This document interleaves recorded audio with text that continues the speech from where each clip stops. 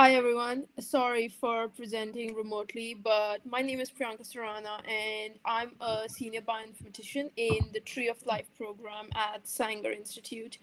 Today, I'm going to talk about how we're doing the production of not just our assemblies, but also the publications for those assemblies. So we're part of this bigger project called the Earth Biogenome Project.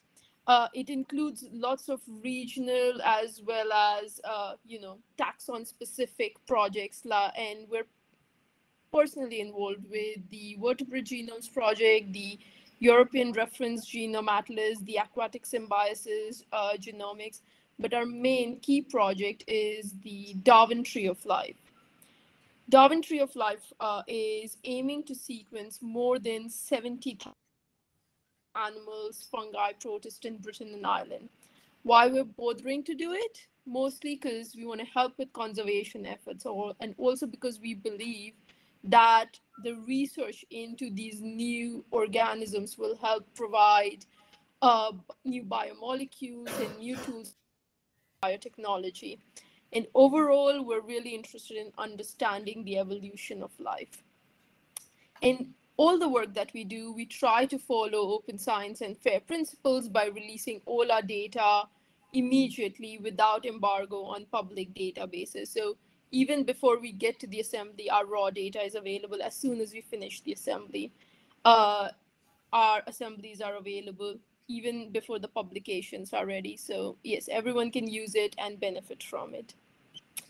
So this is our genome engine. So 70,000 of them and through this engine on a weekly basis, lots of uh, more than 60 of them are going through it. So obviously it starts with sample acquisition, which is done by our partners across uh, the islands. And then it, we collect the metadata, the also the DNA extraction, RNA extraction is done in the sequencing. Once the lab part is done, I'll talk more about the informatics, which I actually know about. So then the first thing we do is obviously quality check, and Shane is in charge of it. So directly from the sequencing machines, once we get the data, it runs through a series of checks, and all the results from that check is put on a portal the Tree of Life QC. So TOL QC is what it's called, and you can access it. It's publicly available. Uh, then we move on to genome assembly. So currently we're in the process of moving all our pipelines to Nextflow. Some of them are already there. Some uh, we're working on it. So genome assembly is one of those that's in development. This is when the long PacBio data and the short Hi-C data are combined to create the best assemblies uh, computationally. And Cinia is working on this uh, pipeline. So then we have the curation step, which is very involved. It starts with checking for contamination or cobionts, depending on the project. Then we have a pipeline that called TreeVal, which goes through a whole series of steps checking for synteny, telomeres. Uh, it creates these contact maps, and all of this data that's created by these first two pipelines is used by human curators actually look at the data and figure out you know if there are breaks disjoints and they move it all around and get it in the perfect possible shape once they're done with it, they run this short pipeline called curation pretext, and all these three pipelines are currently in development. So they run the curation pretext, after which all the data is uploaded to ENA. Uh, and there is an automated system to do that on a regular basis. Uh, we have a tie-in with Ensembl Rapid Release, where they do the annotation for us for all our genomes. And everything then gets put onto the Darwin Tree of Life portal. For other of our projects, we're working on the portal as well, but the, the Darwin Tree of Life one is already live. But the main thing I want to talk to you today about is creating these so we are working on 70,000 genomes. So the way it works out is about 60 per week. So imagine writing 60 different publications every week. It would be nightmarish. We don't want to do it. So, which is why we've created a series of Nextflow pipelines and a web application uh, to do this. A little bit more detail on why we're really interested in it is first, it's the scalability factor that I talked about, but it also means we reduce the time to publication. For smaller genomes, we could do it within a day. Uh, for larger genomes, it might take a few days going from a released assembly to a publication. But in general, it's a lot shorter time than a human doing the work. It also reduces the cost of publication for us because through the traditional submission methods, we directly submit an XML file and the images to F1000 uh, internally. And most importantly, we're hoping it will reduce the time it takes to go through peer review. Um, paper, the reviewers have to go through all of it in detail, you know, comment and go through the cycle of review. What we are doing is because over 90% of our text is standardized and the matrix and uh, the, VGP published a series of assembly quality matrix that they consider a standard for the Earth Biogenome Project. And using those, we can kind of rate our publications as to, okay, we are meeting the standards or we are not meeting the standards. And that would help the peer reviewers to quickly go uh, and just speed up the process. So how are we doing it? We're creating this web application, which can be deployed on commercial clouds, but also on the native systems. Uh, and this is going to be for everyone. It's not just for us. So using this, anyone, anywhere in the world can submit their data to be converted into a genome note, uh, which is the automated publications. Uh, the only criteria we have is that all the data and all the genome sequences should be available through INSDC. It could be private, but it should be available through INSDC.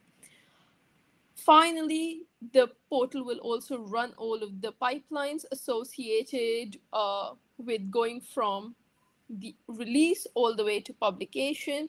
It'll create the images and it will validate the results based on the so what are these pipelines that I keep talking about? So we call them the genome after party. They are a series of eight pipelines, uh, and they're all built with Nextflow and NF Core. And they, because we work on such a large scale, they're designed for diversity. So as long as you work on the eukaryote, we have at some point touched something close to that. And again, because of the scale and the speed we want to work at, we are constantly improving these for efficiency. And we spend a lot of time documenting it, so hopefully other people can very easily use them. So I'll talk about some of these pipelines right now. So first we have the download pipelines. They're very simple pipelines, but they're very powerful pipelines. So what they do is they you they download the first one, the INSDC download. Sorry. The first one, the INSDC download, it downloads the FASTA file, the genome FASTA file from NCBI. It un, it creates an unmasked copy as well, and then calculates a bunch of indices for them. The Ensembl gene download, as the name says, downloads different uh, uh, transcript files. So the transcriptome, the CDS, the cDNA, those FASTA files, as well as the GFF file, and then calculates the indices for that. The repeat download gets the ENA uh, repeat the information and in both the FASTA format. Uh, and then it calculates, like creates a bed file as well as the indices.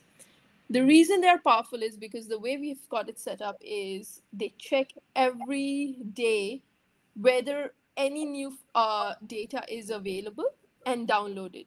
The reason there are three separate pipelines is because the data doesn't get released at the same time for the same genome uh, in all these three categories. So keeping it separate just keeps things clean for us. Then all of our raw data uh, along with the genome is used to align to do the alignment and that for that we use the read mapping pipeline. So the Hi-C and Illumina are our short read data and we use a very standardized best practice kind of a uh, workflow for these. So we convert it into the right format we align it with BWA-MEM then we do mark duplicate and calculate a series of statistics for them. For ONT, we use Minimap for aligning and calculate the statistics for PacBio. We still have some older PacBio data and we have data. So we have a filtering step to uh, for that, and then we align with Minimap and do the calculate the statistics. In the future, we'll also be adding ultra low high fidelity PacBio, or more commonly known as the ULI PacBio and we're working with some partners to kind of have more inputs and outputs. For all our pipeline development, we kind of work with the different partners and you know our users to kind of get input as to how they're using it and constantly keep improving it. So every few months we'll have like a release or something like that. Next is our variant calling pipeline. And this one is right now mostly focused on PacBio data with deep variant.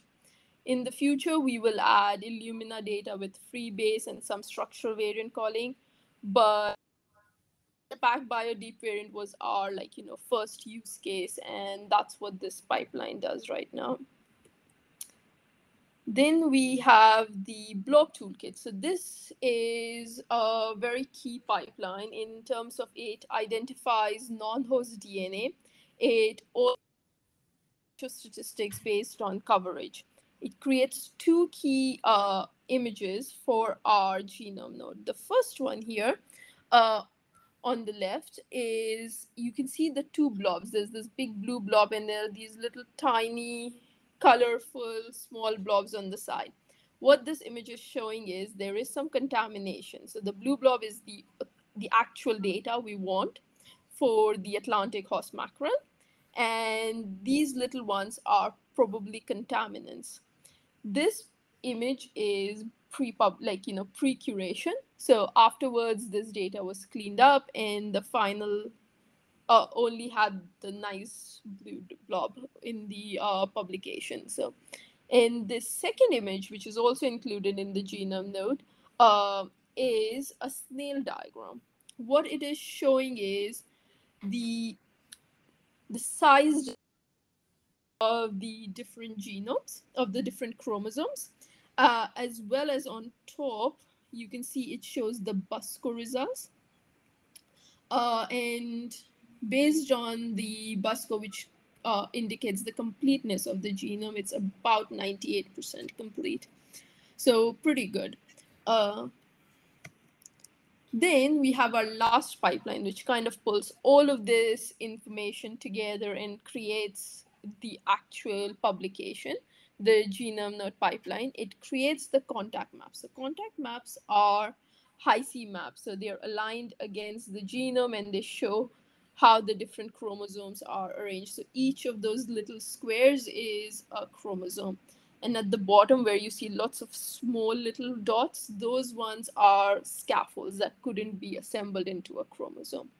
This uh, pipeline also calculates a bunch of statistics and puts it all together in the final genome note. So we publish everything on F1000. And if you go to the Wellcome Open Research page, there is a specific dedicated portal for uh, Darwin Tree of Life.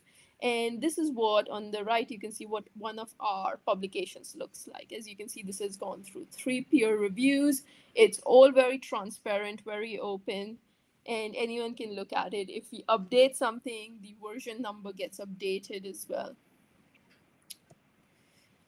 All of the information on our pipelines as well as our genome notes can be found on our website. Um, so, and we love to hear from you if you have any feedback for us.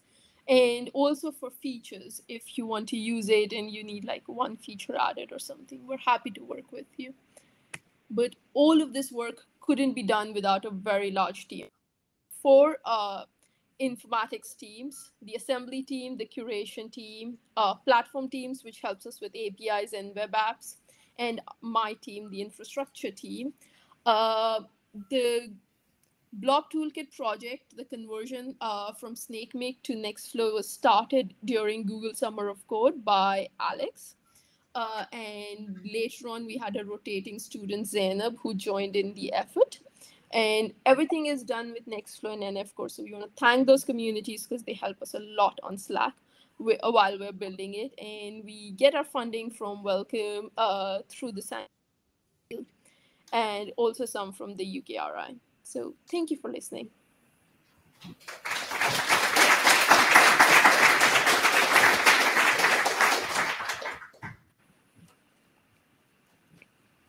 Thank you. Uh, are there any questions online?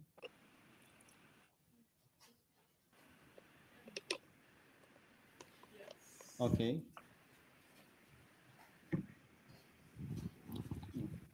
Um, Priyanka, I don't know if you can see the questions in the Q&A. Uh, there's one there for you uh, from Chris Fields. Um, which tools like DeepVariant, uh, which by default uses models trained on human data, um, how do you restrain the models for your specific genome assembly? Um, so we've tested it. So for pack so we've made some uh, like we, we have we've made some modification in in terms of the arguments did for the deep variant results for more than 30 different genomes in various different taxa and the heterozygosity that we calculate after running deep variant and also the heterozygosity that we get initially match so we're pretty sure that the results we don't have a true variant data set uh, but we're pretty sure the, the the variant calls are good based on that heterozygosity um, data set. Okay, thank you. Uh, any other question?